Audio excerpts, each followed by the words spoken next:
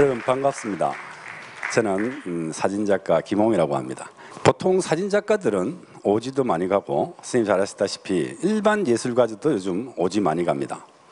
오지 왜 많이 가는가 너무 궁금해 하시는 분도 많고 가끔씩 저보고 야 너는 어찌 그래 남들이 안 가는 데만 골라다니노 그거 가면 뭐가 그래 재밌노 이렇게 물어보시는 분들이 많아요 그래서 내가 많은 사람들이 저한테 물어볼 때 어디가 가장 좋았느냐? 이거 참 많이 물어봅니다.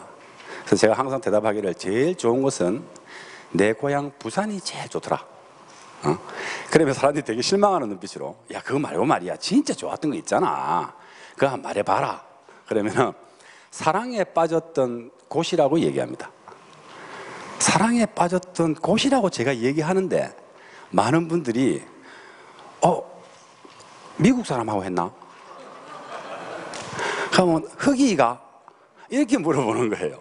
제가 말씀드리고 싶은 사랑에 빠졌던 곳 또는 사랑에 빠졌던 것이라고 하는 것은 어, 선생님들 혹시 열대지방 여행해 보신 경험 있으십니까?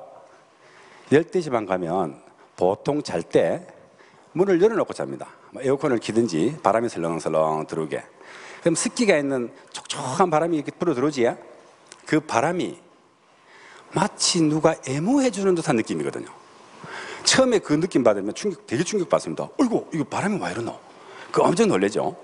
대신에 습한 곳이 아니고 몽골이라는 아주 건조한 곳에 가시면 선생님 잘 아시겠지만 몽골에 가면은 아침이라서 큰일 보려고 하면 큰일 볼 곳이 없죠. 광활한 광야에서 그냥 갑돌이는 저기 하나 있고 저는 여기 앉아서 마주 보면서 큰일 봅니다. 그러면 그 가랭이 사이로 바람이 훅 지나가는 거예요. 그 생각해 보십시오. 저희가 어릴 때나 옛날에 헛강 같은 데 있을 때 겨울 바람 쐬면서 다 경험했던 건데 몇십 년 동안 까맣게 잊고 있던 일들을 그런 오지에서 만나는 거예요. 좋은 풍경도 대단히 중요하고 좋은 사진을 찍는 것도 대단히 중요하지만 저희들이 까맣게 잊고 있던 일들을 되새기게 해준다는 겁니다. 아, 맞아. 인간이 원초적으로 이런 것들을 우리가 느끼고 살았구나. 그런데 양변기가 되고 요즘 다 수세식 아닙니까? 푸세식 없지? 예? 푸세식이 뭔지 아십니까? 예? 옛날에 여름에 저희 동네는 부산에 제가 살던 곳은 부산에 있는 삼복도로였어요. 근데 다른 집은 이제 차가 오면은 한 달에 한 번씩이나 두어 달에 한 번씩 퍼낸다 아닙니까? 그 홍수 날 때 퍼내는 아저씨들 있어야 자기 집 거. 밑에 집에서 욕을 해도 그걸 한다.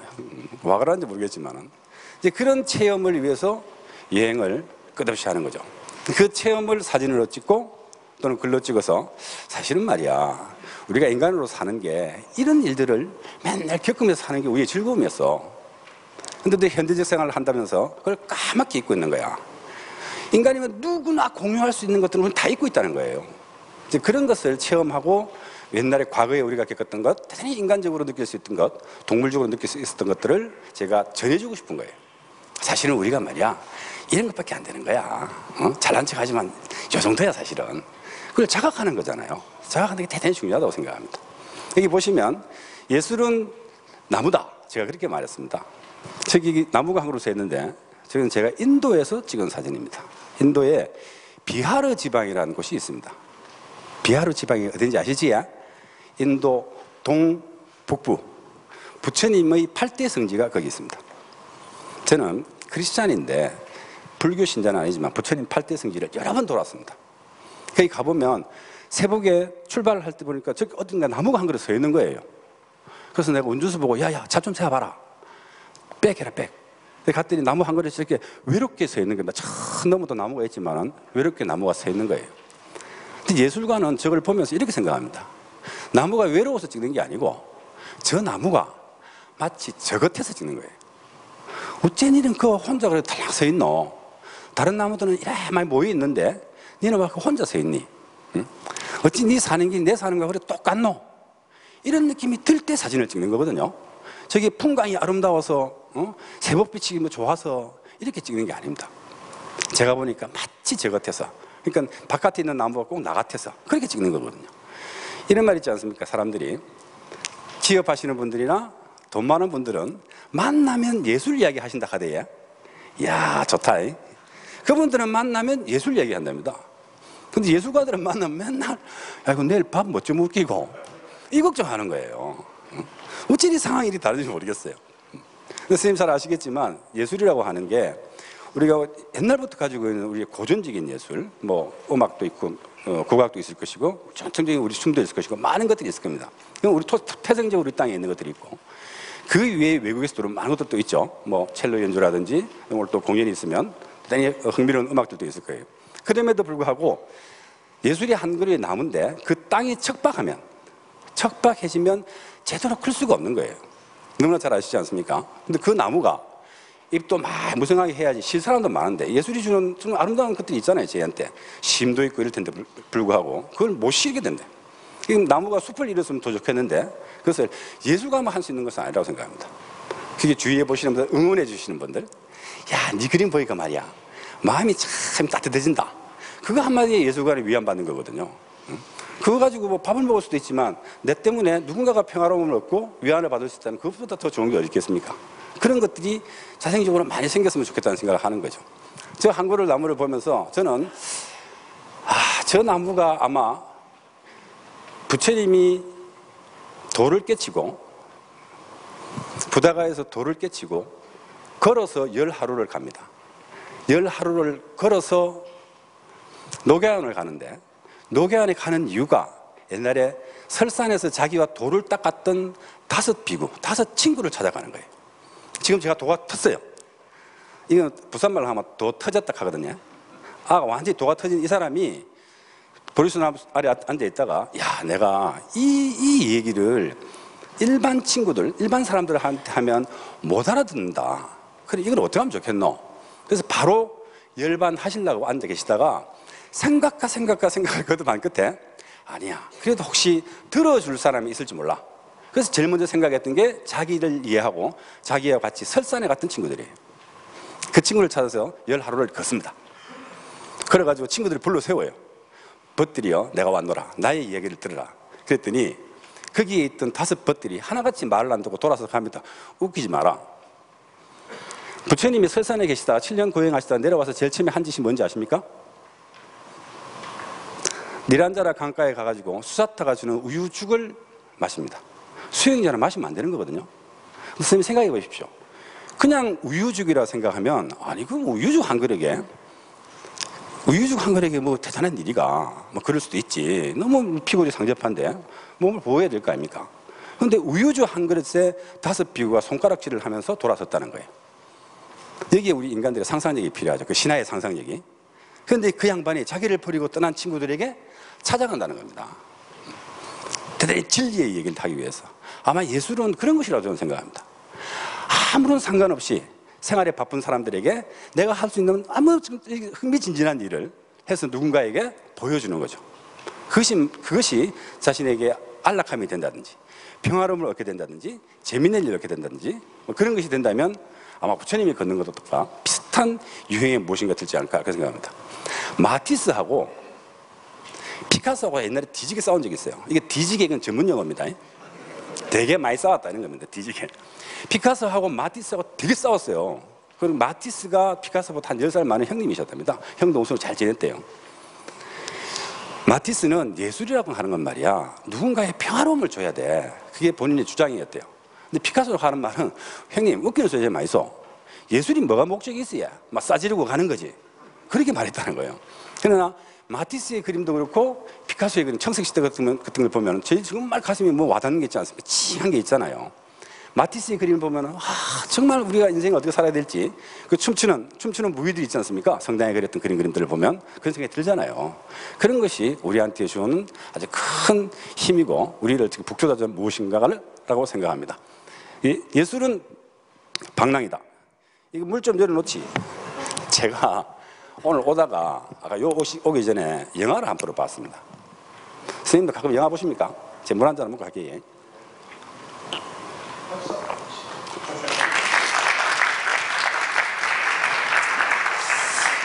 오늘 본 영화는 Searching for Sugar Man 우리말로 하면 설탕 남자를 찾아라 어, 설탕 남자를 찾아가는 건데 이야기의 진전이 이렇습니다 어떤 미국의 디트로이트에 있는 젊은 가수가 옛날에 밥 딜런이나 이런 사람들이 되게 유행할 즈음에 CD 그 음반을 두 장을 내고 히트를 못 치고 바람같이 사라진 거예요. 근데 그 양반의 음반이 지구 반대쪽에 있는 남아프리카 공화국에서 대공전의 히트를 합니다. 몇백만 장의 CD가 팔리, 저기 LP가 팔리는 거예요. 근데 본인은 전혀 그걸 모르고 다시 자신의 직업이었던 노가다로 가는 거예요. 일단 일반 노동자로. 지붕도 고치고 뭐 건물도 해체하고 이런 일을 하러 가는 겁니다. 근데 그, 그 양반은 자기가 그렇게 유명한지를 모르고 살고 있었어요. 근데 남아공에 살고 있던 사람들이 기자나 음악 전문가들이 몇 사람이 우연한 기회에 이 사람을 찾기 시작한. 몇십 년 후에. 그래서 뭐 그 양반이 죽었다는 소문, 죽어도 마 죽은 게 아니고 이 무대에서 노래 부르다가 기름 끼얹어갖고 불 붙여 죽었다. 뭐 이런 이야기도 있고 노래 막 부르다가 총 쏴갖고 어, 자살했다는 이야기도 있고 이런 이야기가 있었는데 실제로 그 사람을 찾게 되는 거예요. 그래서 그 노인이 된 그 양반이 남아공에 가서 젊은 날에 들었던 남아공의 어, 흑백 차별을 많이 했는데 그 차별이 없어지고 그 강건한 사회 도대체 우리가 뭐 어떻게 바늘도 찔러도 안 들어갈 그 강건한 사회를 무너뜨린 곡 중에 곡들이 그 양반의 노래에서 시작됐대요. 체제를 비판할 수 있다. 누구나 우리가 체제를 비판할 수 있어. 체제는 우리가 만든 거기 때문에 이것을 비판도 할 수 있고 새롭게 만들 수도 있다고 생각했다는 거예요. 그래서 새로운 체제가 들어서고 남녀 어, 그 흑백의 이 차별이 없어지고 그렇게 되었답니다. 근데 그 노래 어, 그 영화를 봤어요. 대단히 해피엔딩이었습니다. 그렇게 즐거운 영화를 보면서 눈물이 글썽글썽하고 저는 오늘 처음 보는 분이 옆에 계시는 분이 막 우시더라고요. 그 영화를 보면서. 아, 또, 뭐, 나 전혀 모르는 사람인데 너무 우니까 여자분 혼자 오셨어요. 끄트머리 안고 저는 중간에 앉았는데. 어째 좀, 아, 너무 가슴이 아픈 게, 아, 좀, 좀 울지 마이소. 이 말을 하고 싶은데, 이 이상하게 울지 마이소. 이게 또 희약값이 비싸다 아닙니까? 그 말은 못하고, 아, 저도 눈물은 나는데 손수건이 있으면 손수건도 주고 싶은데 손수건도 없지. 어, 그분이 이제 나갔 내가 화장실 갔다고 나갔지만 영화 보고 나갔지만은 그 나와가지고 밖에서도 계속 우시는 거예요. 그 영화 한 편이 주는 감동이 아마 그런 것 같다는 생각을 해봅니다. 이 영상 좀 보여주실까요? 어슴푸레하게 푸른 빛이 보이고 전봇대가 하나 서 있고 왠지 눈이 온 것 같아요. 그렇죠? 저 멀리 빛이 하나 보입니다.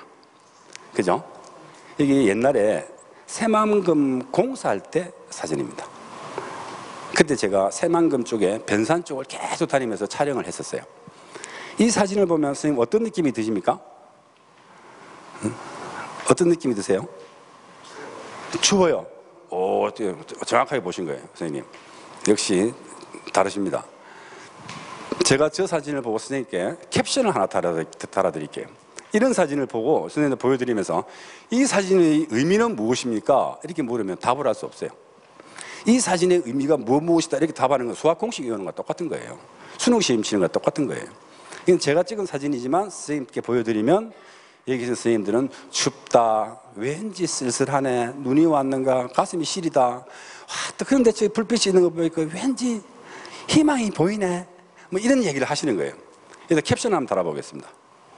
불빛에게 물었다. 거기가 끝이냐? 불빛이 답했다. 여기가 시작이다. 제가 만 40에 찍은 사진인데요. 제가 40대 그거 알게 된 거예요. 예술을 하든지 사진을 하든지 무슨 다른 직업을 가지고 인생을 산다는 것은 끝없이 자기가 하는 행위를 반복하는 것일 뿐이다.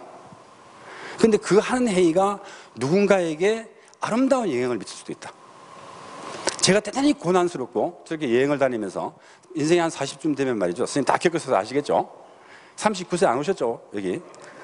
40쯤 되면은 다 인생이 아실 거예요. 아, 말이야. 인생이라는 게 내일은 좋은 일 있고 머리도 좋은 일 있고 그럴 것 같지만 별로 그런 게 없고 끝없이 삶 가운데서 자기 스스로 재미를 느끼고 자기 스스로 환희를 느껴야지 누가 준다고 느끼는 건 그거 가짜다. 음, 그거를 저런 사진을 찍을 때 제가 알게 된 것 같아요. 만 40이 될 때. 그래서 여행이라고 하는 것은 선생님 여행하고 방랑하고 약간 다릅니다. 방탕하고 다른 것도 아시지? 방황하고도 다릅니다. 그래서 방랑은 대단히 물리적 거리로서의 이동이 있어요. 물리적 거리로서 여기서 저 멀리 어디를 간다는 물리적 거리도 있고 또 하나 중요한 것은 정신적으로 유람하는 거예요. 새로운 인간을 만나고 새로운 사람을 만나고 새로운 책을 만나고 하는 것이 전부 다 일종의 방랑이라고 생각됩니다. 자신이 필요한 어떤 답을 얻기 위한 행위일 거라고 생각되거든요. 이게 많이 도움이 된다고 생각합니다. 제가 여행 다니면서 국내뿐만 아니라 해외도 제가 많이 돌아다닙니다. 어, 요 군자에 뭐 여러분 잘 아시는 텔레비의 세계 테마 기행이라든지 얼마 전에 6월 달에 일본 쓰나미 1년차 때기 때문에 일본에 있었고요. 7월 달에는 티벳에 있었습니다. 동티벳. 티벳 가봤지야? 안 가봤습니까? 티벳 요 살살 걸어가면 요 옆인데. 아, 어, 멀다고 생각하시네. 티벳, 티벳에 가시면요. 한 5,000m쯤 올라가면 조금 괴롭습니다. 그 건강이 좋고 나쁘고야 별 상관없고요. 누구나 괴롭습니다. 배가 커도 아마 괴로울 거예요. 숨이 다 들어오는 것 같지만 실제는 뭔가 허전해요. 숨이 제대로 안 쓰여요. 물을 마시도 숨을 가쁘게 해서 마셔야 되고 밥 먹는 것도 없어도 됩니다. 가보면. 근데 그런 나라 가면은 외국인들이 저한테 많이 물어요. 뭐 그뿐만 아니라 아프리카를 갔다 마찬가지고 동남아를 가도 마찬가지고 너무 호기심 많은 사람들 많잖아요. 그런 사람들이 저한테 묻는 게 야 한국에 가면 아침 인사 뭐라 하노? 아침 인사. 선생님 아침 인사 뭐라 합니까? 응? 안녕하세요 이란다 그지야? 옛날에는 뭐라 했는지 압니까? 진짜 선생님 훌륭하시다. 옛날에는 우리말에 good morning, good afternoon, good evening이 다 있었습니다. 그럼 누가 그걸 없앴는지 모르겠어요. 너무 안타깝다. 저는 부산 사람이라서 외국 가고 친구들이 야 누구 누구 말로 good morning 뭐라 그래? 그럼 저는 아침 밥 먹나? 그럼 점심은 그럼 점심 밥 먹나? 그럼 저녁은 뭐라 하는데 저녁 밥 먹나? 음. 그러면 그 친구들이 한국에 가가지고 저한테 똑같은 말 합니다. 아침에 홍이 아침 밥 먹나? 음. 저녁 밥 드셨습니까? 네? 아마 방랑은 제가 말씀드렸던 것처럼 아마 지리적인 이동도 대단히 중요하지만 선생님 돌아다니 보시면 아시겠지만 우리가 동시대를 살고 있지 않습니까? 위치가 바뀌면요 시간 흐르는 게 완전히 바뀝니다. 예를 들어서 서울의 시간은 되게 빨리 흘러요.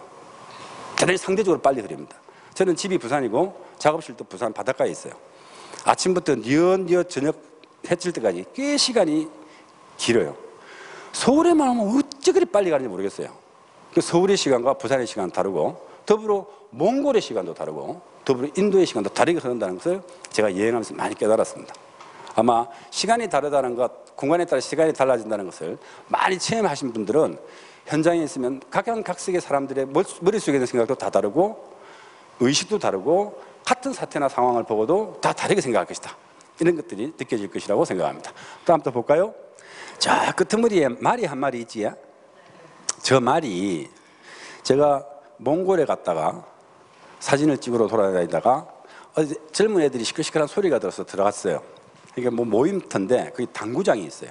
되게 낡은 당구장이 뭐 이렇게 이게 어, 이렇게 쪽 뻗지 않고 이게 휘어진 당구대를 가지고 어, 당구 추어를 가지고 여러 친구가 당구를 치고 있었어요.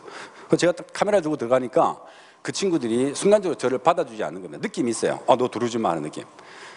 아, 친구가 안 되는구나. 내가 말을 붙여도 응답이 없고.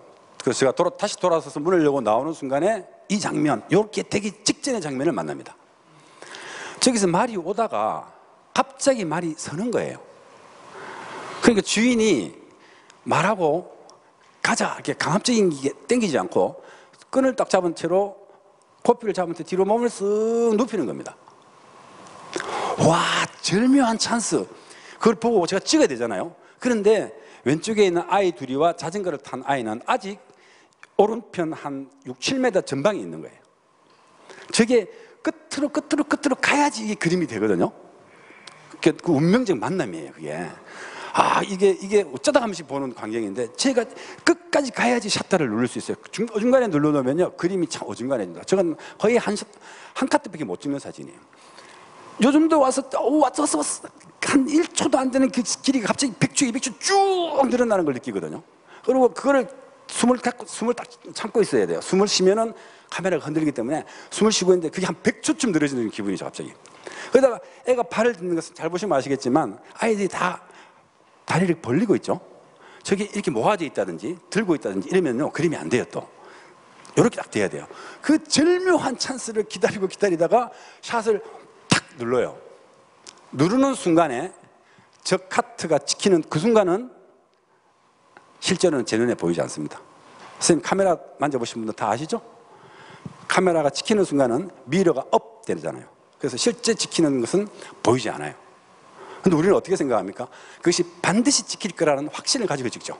기계가 고장나지 않았고 반드시 지킬 거라는 확신이 우리한테는 있습니다. 그게 세상을 사는 힘인 것 같아요. 음. 내가 무슨 일이 생기면 내 동료들이, 내 이웃들이 나를 위해서 슬퍼해 주거나 기뻐해 주거나 나를 도와줄 것이다. 내가 무슨 행위를 하는 것이 나 개인에게도 물론이지만 나 옆에 있는 이웃들에게도 가치 있는 일일 것이다. 그런 확신이 없으면 뭘 하겠습니까? 어떻게 몽골에 가가지고 몽골 한번 가보시면 아시겠는데 내일 몽골 가시는 분 계시죠?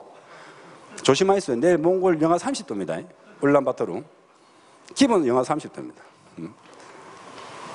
내복 많이 입고 가 있어. 내복 많이 입지 마시고요. 스타킹 많이 신고 가 있어. 거슬 좀 덜할 겁니다. 아마 영하 30도 참 만만치 않지 가보시면. 근데 그런 것들을 제가 샷다를 눌러서 찍고 그것을 누군가에게 보여줬을 때 그 사람이 대단히 마음 편해하고 야 이게 참 네 자신이 참 볼만하다. 음. 이건 아마 아마 부처님께서 하신 말씀과 아마 유사할 거라 생각합니다. 누구에게나 불성이 있다. 예? 그 불성이 있다는 것은 아마 아름다운 것을 보고 느끼는 그런 기초적인 마음이 있을 거라고 저는 생각합니다. 그렇기 때문에 이쁜 것, 예술품, 뭔가 아름다운 노래, 응? 음악 이런 걸 들려주면 가슴이 따뜻해지지 않겠습니까? 그것이 예술이 가지고 있는 대단히 큰 힘이고 그것 때문에 세상이 바뀌기도 하고 보다 나은 세상으로 갈 수 있을 거라고 저는 생각합니다. 두서 없는 말씀 드려줘서 대단히 감사합니다.